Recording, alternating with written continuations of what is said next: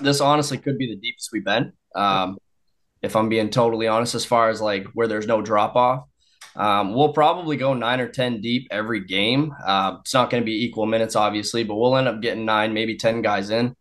Um, and the biggest thing is those guys buying into the roles, which we've had individual discussions and, and expectations. And um, so far, so good. Um, guys are guys are liking the roles that we've given them. Practices have been going really well, and and uh, they understand too that you know roles can change throughout the season. So we just need them to to kind of do what we need them to do throughout the year. And um, if somebody goes down, somebody's got to step up. They're ready to go. So no, you're you're spot on though. We've got some pretty good depth this